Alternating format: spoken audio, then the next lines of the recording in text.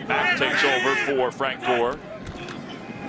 He'll take the handoff. Uh, stiff arm of Clowney. And he breaks a tackle inside the 10 and then bounces to the five-yard line. Glimpse that they've seen this year from Mack. that does not happen very often. We saw we showed a play just like this in the open where Clowney did exactly that. Got into the backfield off a block and got and made the tackle and boom. Just a great stiff arm by Mack. For the Kevin Johnson missed him. It'll go to back, trying the right side, try to sneak through, and he's into a pile, and the pile goes into the end zone. Touchdown, Indianapolis.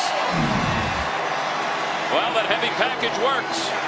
It's just a lot of big bodies and a little bit of momentum, and Mack gets pushed over on a fourth effort